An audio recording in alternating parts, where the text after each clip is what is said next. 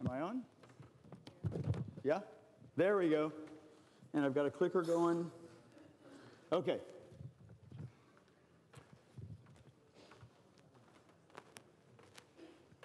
Well, I'll start with some introductions while he's getting my slides pulled up. But thank you very much for having me here. It's great to be here.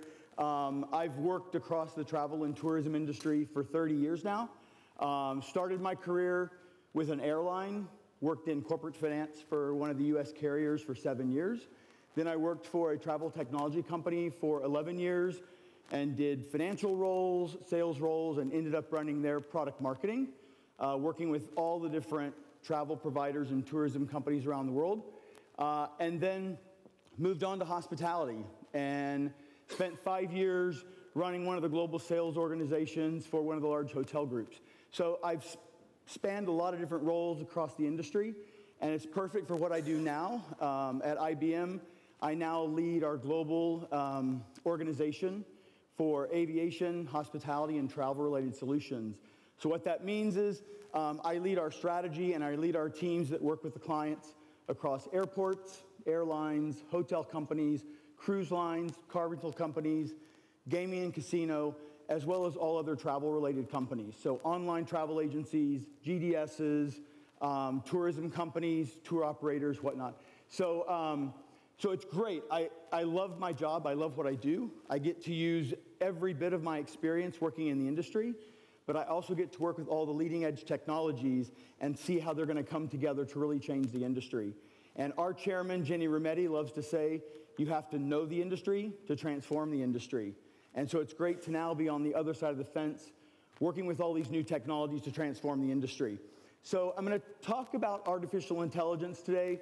Um, our brand for our artificial intelligence is Watson. You've probably heard of it. Um, commercials everywhere, so you're probably tired of hearing about Watson. But I'm going to talk a little bit about that today and talk about how that's going to transform the industry. Um, how does this work? Just the up? Ah, there we go. So, the word of the last two days has definitely been digital transformation, right? And so, we really look at six key technologies that are really driving digital transformation across the travel industry today. I'm going to really drill down on artificial intelligence, but quickly touch on these because they all kind of go hand in hand. We're seeing a convergence or a confluence of these six technologies that are really going to drive the change in the travel industry. Um, you've probably seen it reported that over the next three to five years, we're going to see more technological change than we've seen in the past 100 years. And what I'm seeing already, I definitely believe that to be true. Um, these other five technologies are all going to leverage aspects of artificial intelligence and how they are rolled out across the travel industry.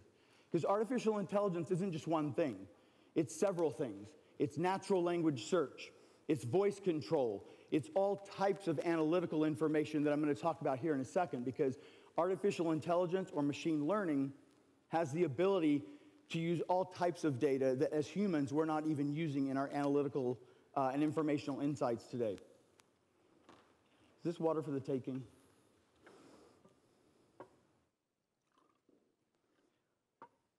So, when you look at all these other technologies, uh, mobile, you know, you kind of have to have mobile today.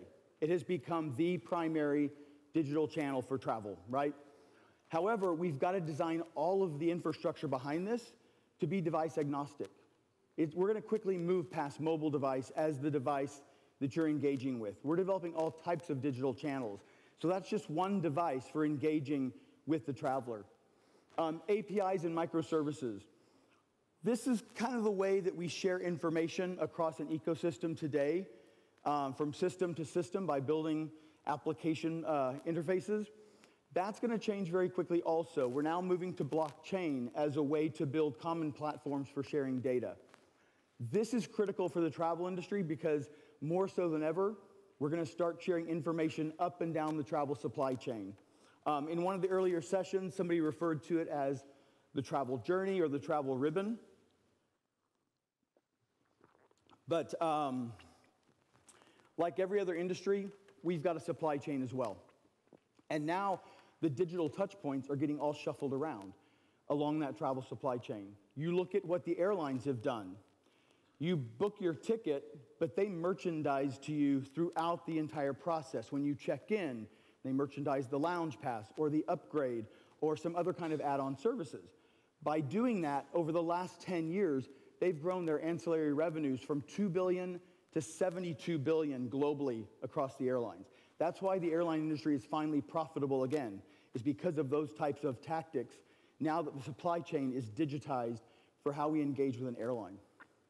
Cloud, cloud's just kind of become this commodity that kind of supports it all, but cloud allows us to bring data to the analytics and bring analytics to the data across these virtual networks. So it allows us to really have distributed touch points now for how we engage with all this data. And then last, Internet of Things. We heard a little bit about this in this previous panel. Um, Internet of Things is going to be big with hotels. It's going to be big with connected car.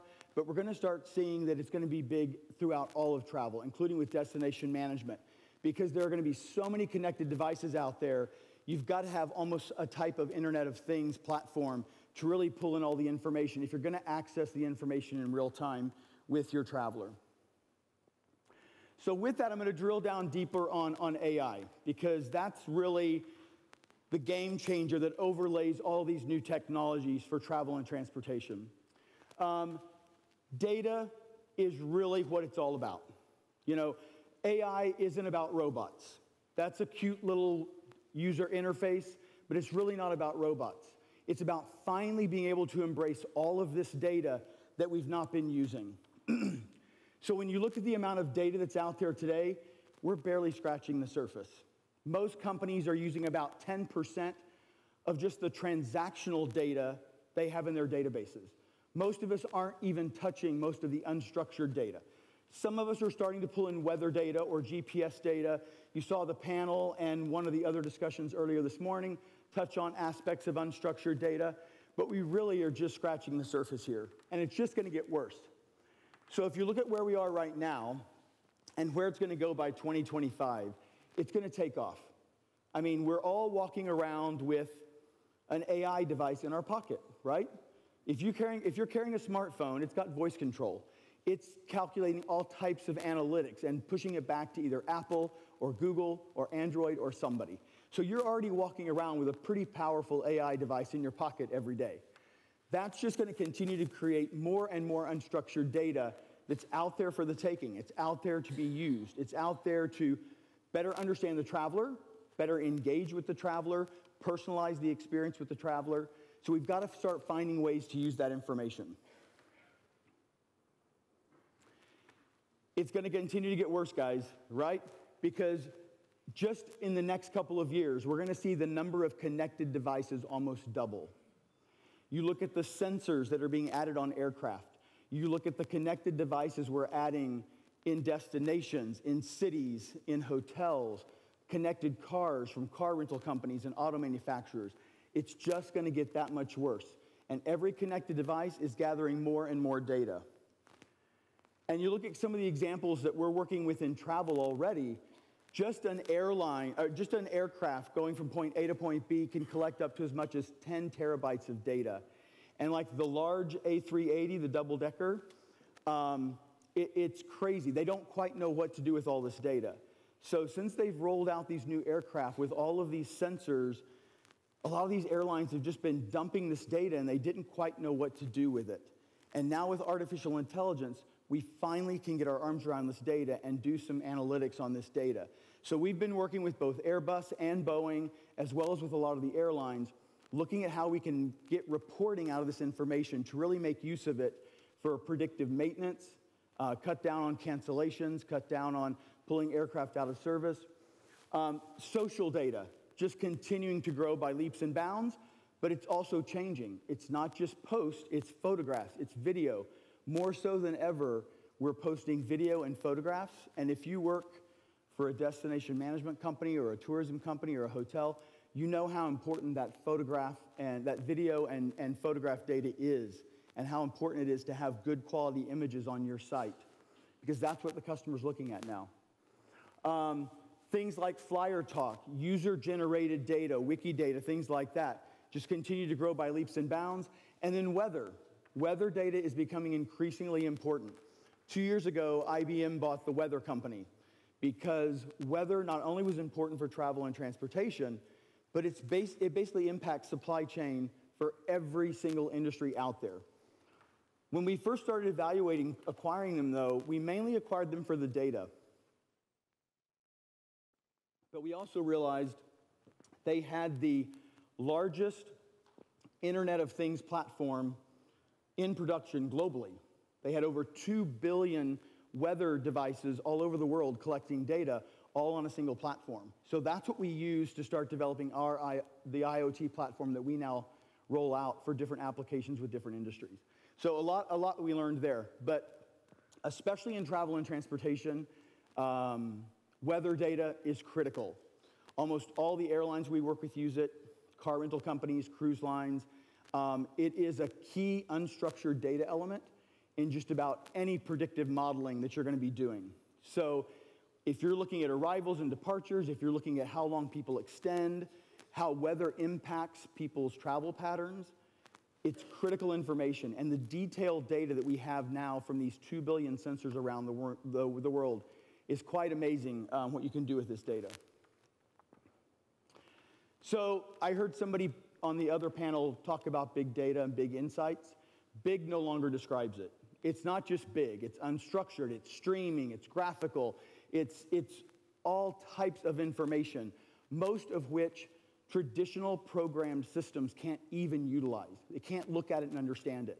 And that's probably the first biggest change or innovation with AI is its ability to actually understand this data, draw reason and logic from it and learn. And that's not just transactional data, basic demographic segmented data that we've used for years. It's looking at what I posted, what videos I'm in. Um, it can actually look at a photograph and understand the context in which that photograph was taken. It can look at a video and understand that. So this is, this is the big game changer for travel and transportation because that information is critical for us. Um, when I was back in the hospitality world, any of our general managers at our hotels, the first thing they did every morning was look at TripAdvisor to see if they'd gotten a negative review the day before and see if there were any pictures posted. Because the worst thing you could have happen if you're a hotel is to have a picture posted of the mildew in the corner of the bathtub, or the tile cracked, or the curtain dangling. That image sticks with other people that are looking at that site that are thinking about coming to your property. So, same thing for destination management, same thing for tourism boards, convention and visitor bureaus. Um, that graphical information is critical. And if you could pull in across social media and across all those user generated sites any photographs or video, Snapchat, Facebook, Instagram, look how much that we're posting now that is that type of data. And we're not pulling that into any of our analytical solutions today. AI makes that possible. Now, like I said earlier, we're not talking about robots taking over the world or even taking over a hotel, but there is one hotel in Japan that is run completely by robots, but it's more of a novelty thing right now. But this is really about enhancing the decisions we make as humans. Um, when you look at what we do across travel and tourism, there's always going to be a human touch to it, right? The hotels aren't going to get rid of people in the lobby. They're not going to get rid of housekeepers. It's just not going to happen. But what this does is it allows us to take all the benefits of cognitive systems and now provide such better insights into the humans that are actually going to make those decisions, right?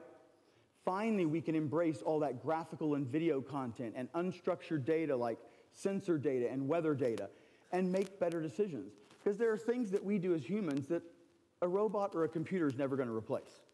So people get a little nervous when you talk about AI because they think you're talking about doing away with jobs. And it really isn't. But it definitely does change the skill set because it means you don't need to have analysts plugging data into spreadsheets and running spreadsheets and doing a lot of analytics. It means they're going to be given the best information in the context of the situation at the right time and you've got to train them now to make a good business decision or make a good service decision for the customer. So it really does mean we've got to retrain our folks. We've got to maybe look at business processes a little differently because we're going to be able to give them better information than they've ever had to make the best decision possible. So I've, I've kind of touched on this already, but just to kind of sum up the, that before I drill down into some specific cases, um, it really does benefit the information we have to better service the customer. It also gives us better information to finally put good insights into the hands of our employees so they can feel good about the decision they're making and make them feel like they really understand the context of the decision or the, the, the, the, the decision they need to make, where that customer just came from, where they're going next, what's the, the context of that very moment that they need to make some service decision on behalf of that traveler. But there's also huge operational benefits. We're using a lot of this data now to build predictive models um, that far outweigh any of the predictive models we did with just basic transactional data. Because when you pull in a lot of this unstructured data, you really can, can tell much further ahead when a part's going to fail. Um, airlines and car rental companies are already seeing great benefits from this, but we're also using it to start building better forecasts for arrivals and departures at airports, to start building better uh, predictive models for hotel arrivals and departures. Hotel companies, car rental companies have the biggest breakage rate or spoilage rate of anybody because they just don't have good forecast models today and, and the no-show rate, I mean, there's no penalty for a car rental, right? You book a car, you don't show up, there's no penalty. So they have a significant breakage rate on no-shows that really costs them asset utilization and revenue. So just a lot of things we can improve on the operational side as well. But overall, it really does uh, give us better information to run our businesses, but also to improve that experience with the customer. So as I said, artificial intelligence or cognitive computing encompasses a lot of different types of capabilities. So I'm going to show you two or three examples of how we've been applying it in travel and transportation. And you're going to see they're all kind of quite different because they use different aspects of cognitive computing or AI.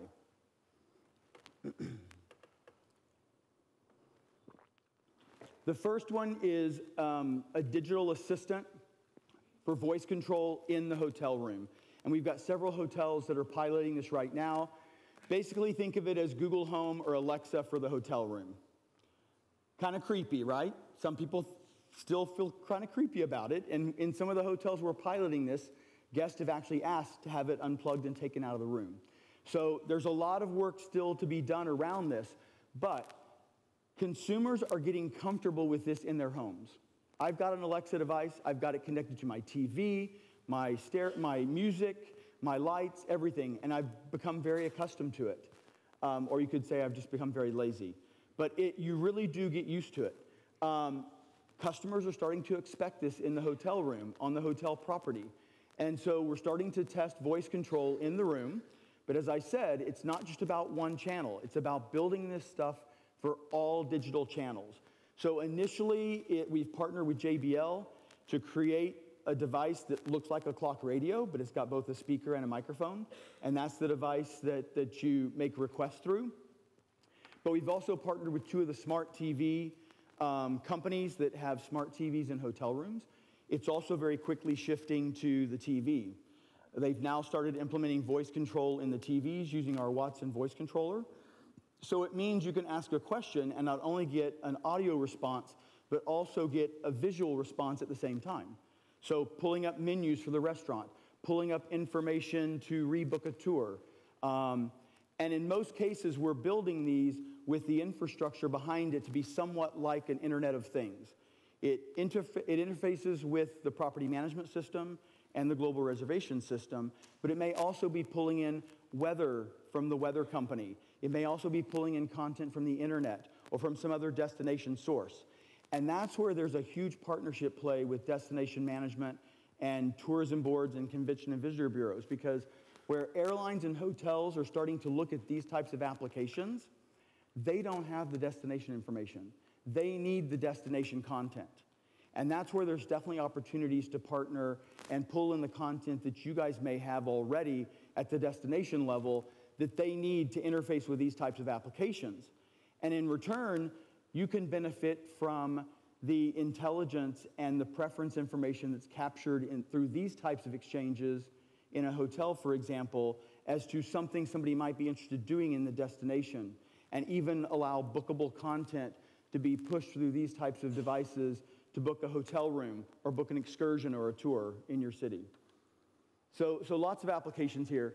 Now, on the employee side, there's also an employee application that goes with this where the employees at the hotel have a dashboard on a tablet and they can keep track of services being requested through the voice control. They can see just activity around the hotel. They can see if maintenance needs to be pulled in and, and automatically shoot off a maintenance request for something to be fixed in a room or to have other types of services delivered to the room. So there's an employee benefit to this type of information being captured as well.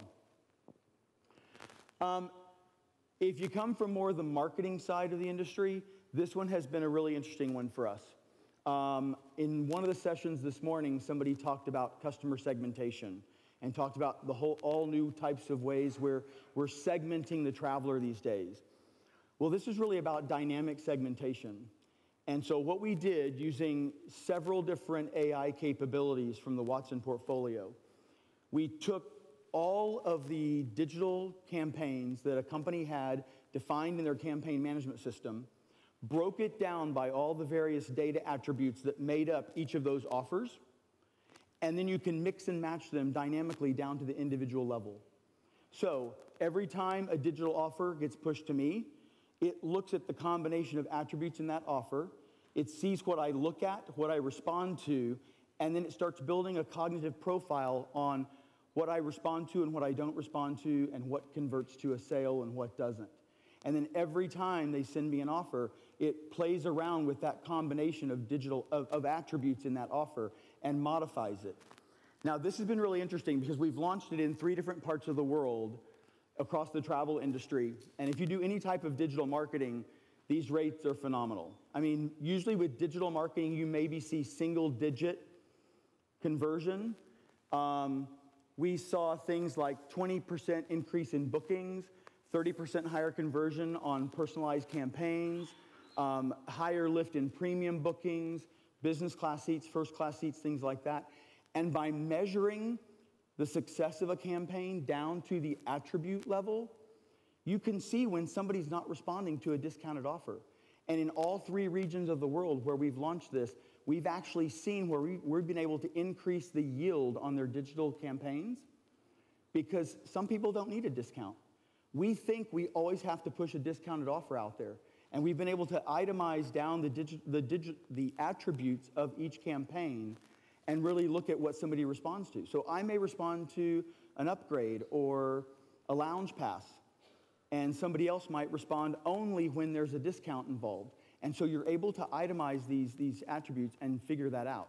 So it's been really interesting because we've actually been able to increase the yield on digital campaigns with all the companies that we've launched this with.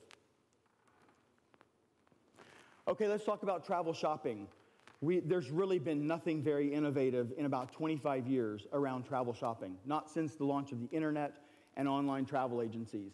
When you go to just about any travel website, there's three key things you have to put in your destination, the date of travel, and when you're going to return, and how many people maybe. We all have that same traditional travel booking widget, so nothing really has changed much. But with AI, you can do natural language search, you can do voice control, you could put in, you know, show me beach vacations in the south of Spain for the month of August, family of four, budget of 5,000 euros. And it would go out and find all the possible combinations for that. And so that really changes the game for us because today, most travelers go search 30 plus websites before they ever come to any of our websites. Because the first thing they do is they pick the destination, they research what activities they want to do, and then they start honing it down to, okay, I'm definitely going to go to Marbella. And then they maybe start researching Marbella, they start looking at hotels, they start looking at flights. So we're missing out on a lot of information that could be garnered when they're first dreaming and thinking about that trip. So we've got to all engage much further up the travel supply chain. And we can do that now, but we've really got to start changing the processes, and how we engage with the customer.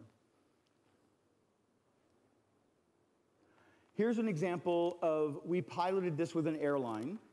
Um, and this was kind of an interesting one because it really did have to shift some paradigms about how they pushed their product on their website. I mean, we all think of price, price, price when it comes to an airline. Everybody's looking for the lowest price. What this did was they first engaged the shopper online with something that looks a bit like a chatbot. And then they have the visual responses on the right hand side. And just like I said before, in the spirit of first helping them research the destination and the activities, they start a conversation with a, a digital agent. The digital agent starts asking them questions about what they would like to do on tra- uh, when they're traveling. Um, and you'd be surprised in this type of conversational exchange, you garner so much more information. You find out they have kids. You can ask how old their kids are. What kind of activities do their children like to do when they travel? What do you like to do as the adults when, when they travel? And then what this site did was it started pulling up destination recommendations based on what the digital agent was learning from the conversation. So a bit of a digital concierge type application, but built into an airline website. And not until the user starts drilling down on a destination, that upper right quadrant then starts populating with uh, airfare specials specific for that destination, or even bundling in tours and hotels. So this kind of starts making an airline website look a whole lot more like an online travel agency website with a lot more bells and whistles. So this is the direction that a lot of travel websites are looking to go, where you really get away from that traditional booking widget. And as you're having this digital conversation with the customer, all everything you're learning you're funneling right into their profile and you're building a cognitive profile. And then every time they come back, and this goes back to my, my point earlier about you have to be somewhat uh, device agnostic about the engagement point. You've got to make sure that that digital or that uh, cognitive profile is not only then available when they come back to this site, but when they come to your mobile app or they call your call center or they engage in some other channel. So all this has to be built in a way that the architecture links all of these insights to be used across whatever channel the traveler chooses to engage with you next. So, that being said, I'm going to show a quick little video. This is another twist on that application I just showed you through a mobile app. And I'm, i show this one because I think this is probably the closest thing to a destination management type application and how somebody in this room might use this type of technology. Um, it looks and sounds a lot like they're just talking to Siri on their iPhone. But what this is, uh, how many people have heard of Pebble Beach? It's you know, one of the top golf courses in Northern California. Beautiful, beautiful location. And because it's in such a beautiful stretch of California, they get a lot of tourists that come on and off the property that aren't staying there, but just come to visit. They have approximately 1.5 million visitors that are completely unauthenticated. They capture no information about them. And in most cases, they're handing them paper brochures and paper maps. How many of us still do that, right? You shouldn't be handing out anything paper. You should be asking them to download your app so that everywhere they go on your property or in your city and everything they do, you're able to capture that just for intelligence purposes as to where people are going in your city. Um, so we launched this app with them about a year ago to do something similar, just for them to start having a way to better digitally engage with these one and a half million completely anonymous travelers that visited their property. How do I start this? I just go over, touch on there. There you go. Where's a good place for lunch? Cool. We have sit down or takeaway options. Which would you like? In the Pebble Beach app with Watson, we have a virtual concierge that allows guests to interact either through audio or through a text message like feature. And so Watson can suggest dining, shopping, and drinking destinations.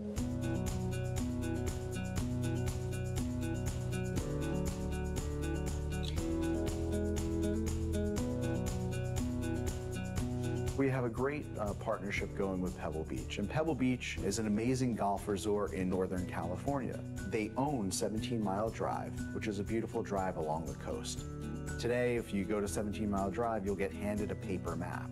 We want to bring them into the you know, modern age. When the Pebble Beach company approached IBM, they were trying to figure out how to take digital experiences and create them in a way that was a natural extension of their already casually elegant guest services program. Part of what IBM is bringing to the table is cognitive tools like Watson, but also just a understanding of users and how guests behave and making technologies that make a natural fit for a resort environment.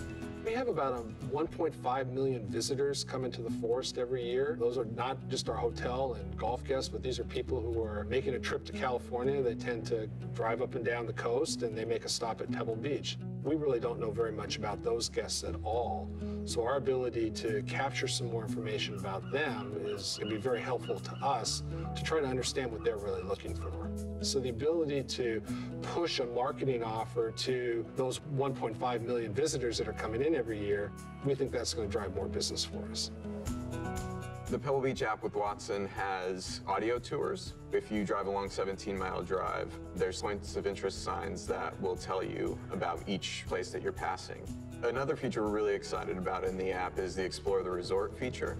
It's really going to drive customers to where the hotspots are, where the trends are, what's happening right now as far as menus, what's fresh on the menus, and of course, the insider tips. I've really enjoyed working with Watson, training Watson. It's been really cool to see him get smarter. We want to partner with, with a company that's best in class. The opportunity to partner with IBM and to create an app and look for other types of technology solutions to help us improve that customer service, that's what really makes the partnership.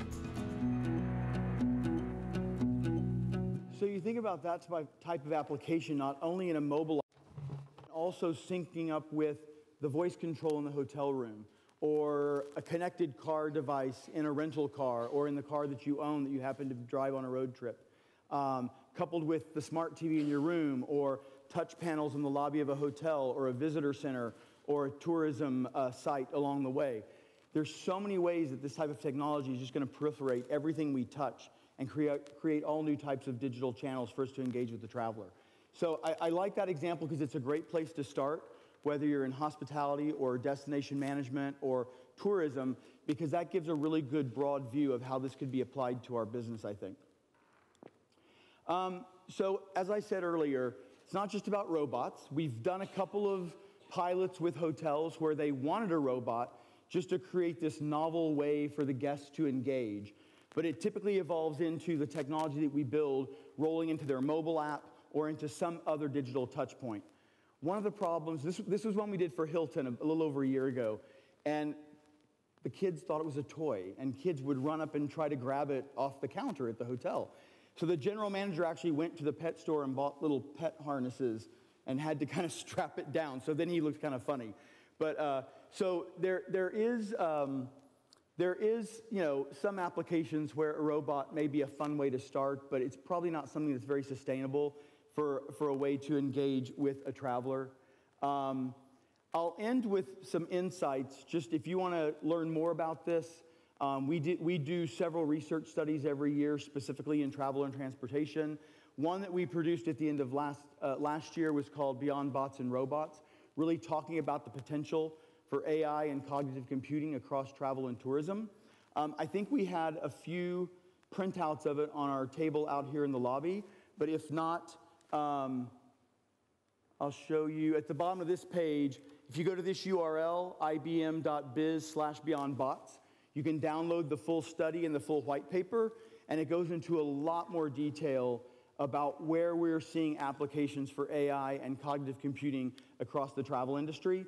But just one of the bottom line insights from the, from the study, we talked to CIOs across travel and tourism globally last year, and this number is about a year old now. The final survey results were rolled up in September, but about 52% we're looking at developing cognitive solutions or had stuff already underway, leaning more towards operational efficiencies and per, first applying it in those types of applications.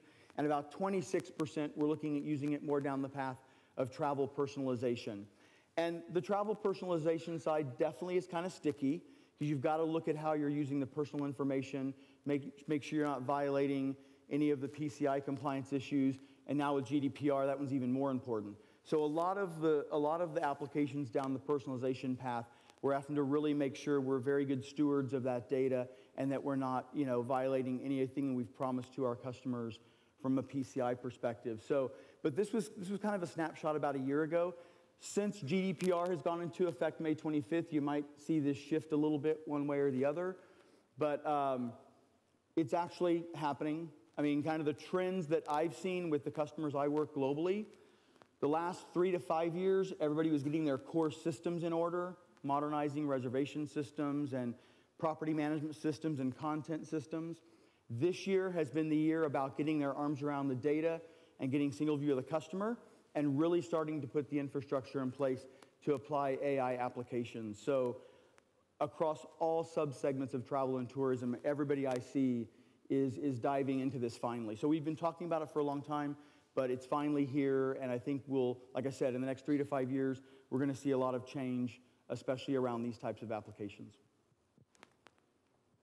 And that's it. So uh, hopefully that kind of summed up the last three days.